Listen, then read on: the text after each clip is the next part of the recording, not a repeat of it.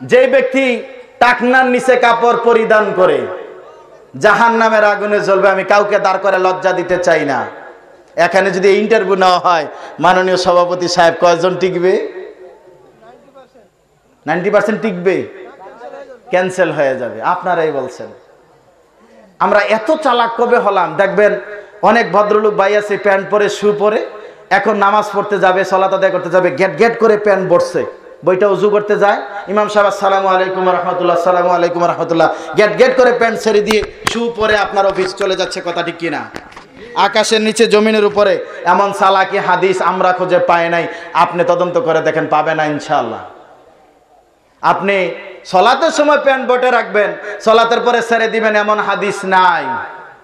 আপনারা যেমন চালাকি হাদিস নিয়েছেন, মহিলারও এমন চালাকির হাদিস নিয়েছে। কেমন?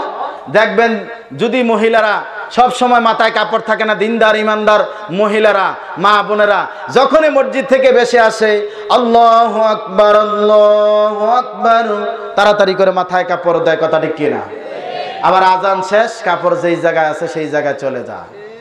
আকাশের নিচে জমিনের উপরে এমন চালাকি হাদিসও আমরা খুঁজে পাইনি, আপনি তদন্ত করল হাদিসে থাক, দূরের কথা, কোনো গাছের কলা পাতা তো লেখা নাই।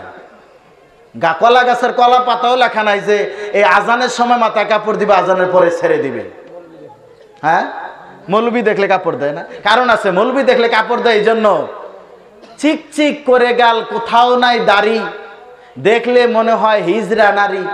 এমন ব্যক্তি আছে না, সকাল বিকাল শেভ করে? আসেনি।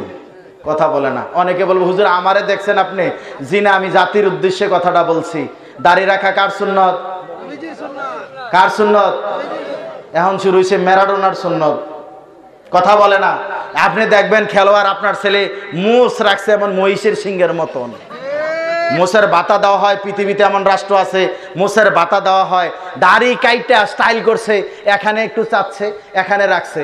আবার এইদিকে টি লম্বা করছে, আবার পাকায় বৈশা বৈশা কথা ঠিক কিনা? আল্লাহ নবী বলছে মোষ তারাও, দাড়ি বাড়াও। এ নবীর সুন্নত মানলেওয়ালা, নবীকে ভালোবাসি আমরা আমরা বলছি, আশেকে রাসুল মাথাতে আছে চুল, চেহারাতে দাড়ি নাই, মাথায় আছে লম্বা চুল, মুখেতে দাড়ি নাই, নাম দিয়েছে আশেকে রাসুল এমন ব্যক্তিও আছে, রাসুলের সুনত রাসুল বলছে, দাড়ি বাড়াও মুস তারাও। আমরা দাড়ি ক্লিন শেভ করে ছেড়ে দিয়ে মুস লম্বা করেছি, আবার আমি বলছি মুসলিম।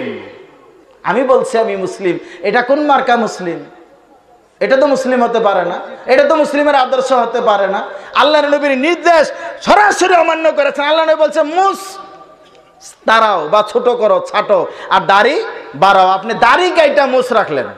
তো উল্টা হয়ে গেল না? অনেক মুরব্বী ভাই আছেন, বয়স চল্লিশ পঞ্চাশ হয়ে গেছে। তারপরেও এরকম চামড়ায় স্কিন টান দিয়া ধইরা তারপরে নাপিতকে কয়, একটু সাইজ কর। কয়, হুজুর, এখনও মেয়ে বিয়ে দেই নেই, ছেলে বিয়ে করেন এখন দাড়ি রাখব? আমার বাড়ির ম্যাডাম বলেছে, দাড়ি রাখলে বলে সাসা দেখা যায় সাসা আমি বলি হ্যাঁ মুসলিম ভাই, অনুরোধ রাখছি, আপনার স্ত্রী বলছে আপনাকে সাসা দেখা যায়। আপনি বলছেন আপনাকে ইয়াং দেখা যায়।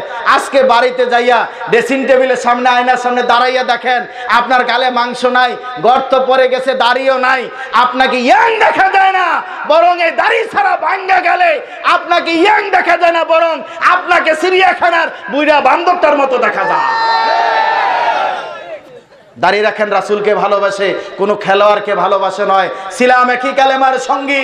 বিশ্ব ইস্তেমা হয় এখন বাংলাদেশের টঙ্গি। বাঙালি বইরা মজা পাইছে লুঙ্গি। দাড়ি টুপিওয়ালা দেখলে কয়, জঙ্গি আর জঙ্গি কথা ঠিক কিনা? দাড়ি টুপি রাখলে জঙ্গি হয় না। বরং দেশ বিরোধী কাজ করলে, মানবতা বিরোধী কাজ করলে, সৃষ্টিজীবের বিরুদ্ধে কাজ করলে, পুরান হাদিস বিরুদ্ধে কাজ করলে জঙ্গি হয়। কথা ঠিক কিনা? লিল্লাহে